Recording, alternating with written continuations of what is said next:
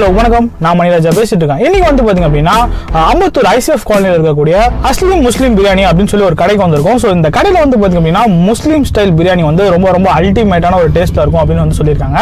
So நான் ஏன் காரில் உட்காந்துருக்கேன் அப்படின்னா லாக்டவுன் சமயத்தினால வந்து பார்த்தீங்கன்னா இங்கே டைனிங் கிடையாது. ஸோ அதனால வந்து நம்ம காருக்குள்ளே தான் உட்காந்து சாப்பிட போகிறோம் ஸோ இவங்க வந்து பாத்தீங்க அப்படின்னா பத்து ரூபாய்க்கு வந்து பரோட்டா கொடுத்துட்டு இருக்காங்க. அது மட்டும் இல்லாமல் வந்து பாத்தீங்க அப்படின்னா பிரியாணி வெறும் தொண்ணூறு ரூபாய்க்கு நைன்டி ருபீஸ்க்கு வந்து கல்யாண ஸ்டைல் பிரியாணி வந்து அதாவது ஒரு ரெண்டு பீஸ் வந்து வச்சு தராங்க எக்கோட. ஸோ அது மட்டும் இல்லாமல் பார்த்தீங்க அப்படின்னா ஷேஷ்வான் ஃப்ரைட் ரைஸ் அப்புறம் வந்து எக்கச்சக்கமான டிஷ்ஷஸ் வந்து இங்கே வச்சுக்கிறாங்க ஸோ வாங்க நிகழ்ச்சிக்குள்ள போவோம். என்னோட பேர் முகமது இலியாஸ். நான் ஒம்பது வருஷமாக அசலி முஸ்லீம் நேரில் ஒரு இந்த கடையை வச்சுருக்கேன் நடத்திட்டு வந்துட்டு இருக்கேன்.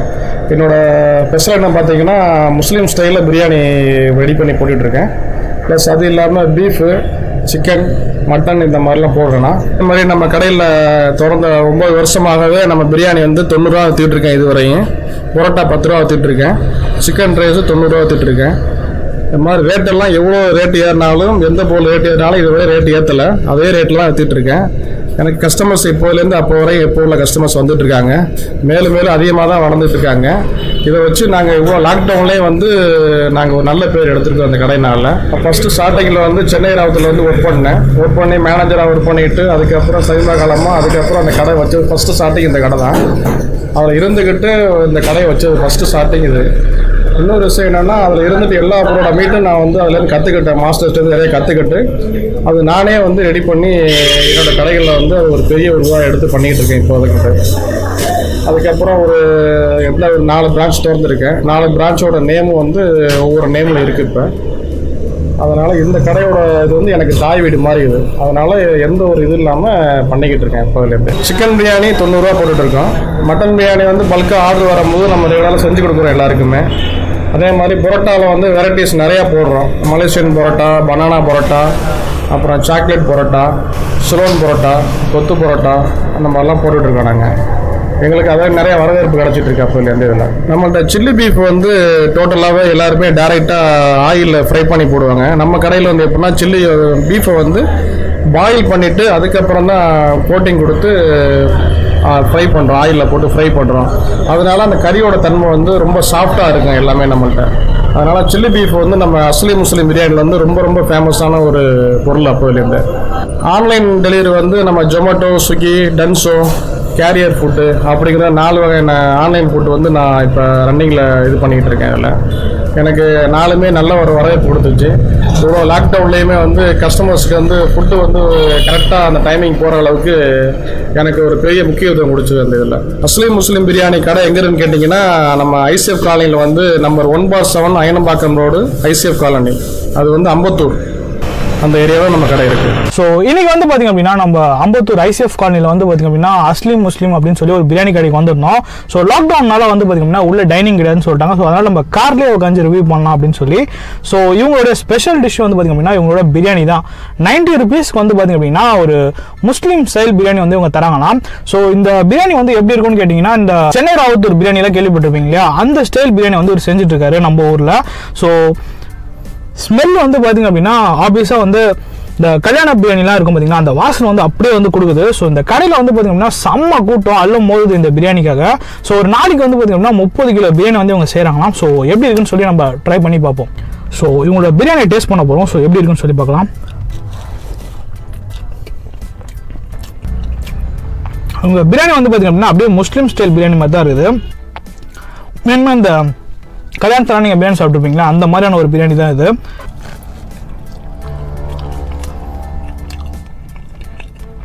நல்லா வந்து ஃப்ளஷ் வந்து நல்லா வெந்திருக்கு.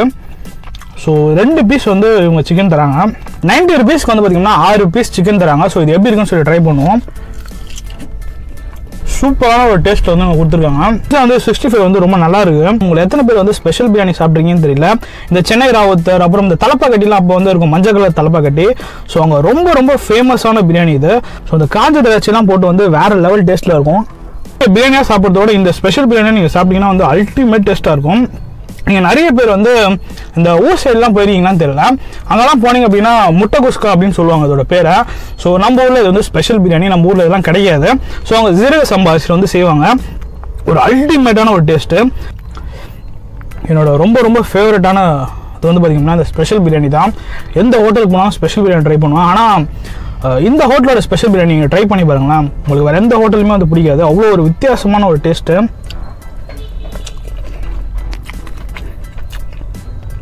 அந்த கருவேப்பிலையோட அந்த வாசனை வந்து அப்படியே ஃப்ளேவராக இருக்குது அந்த பிரியாணி தான் அந்த பிரியாணி தான் இதுலேயும் போட்டாங்க.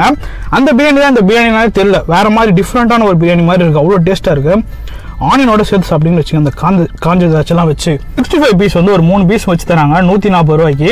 ஸோ ஸ்பெஷல் பிரியாணியில் வந்து மூணு பீஸ் வந்து பீஸ் வச்சு தருவாங்க. இப்படி சேஷ்வான் சிக்கன் நூல்ஸ் வந்து கொடுத்துருக்காங்க. ஸோ இது எப்படி இருக்குது அப்படின்னு சொல்லி டேஸ்ட் பண்ணுவோம்.